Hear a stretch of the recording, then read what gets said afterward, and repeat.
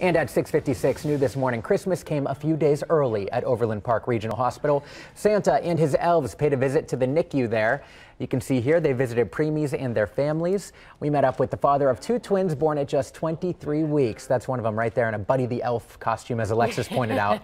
you saw their story with Amy Anderson on KCTV5 just a few weeks ago. He says this event helped them have a more positive outlook on their situation. And this day and having Santa come visit them is, um, I don't know, it just adds more joy to the occasion, you know? Oh, I'm sure it does. Great for those families. The visit also gave babies an experience they wouldn't usually have in the hospital. A first holiday picture with Santa, which is surely something they would have missed out on had he so not made sweet. that visit.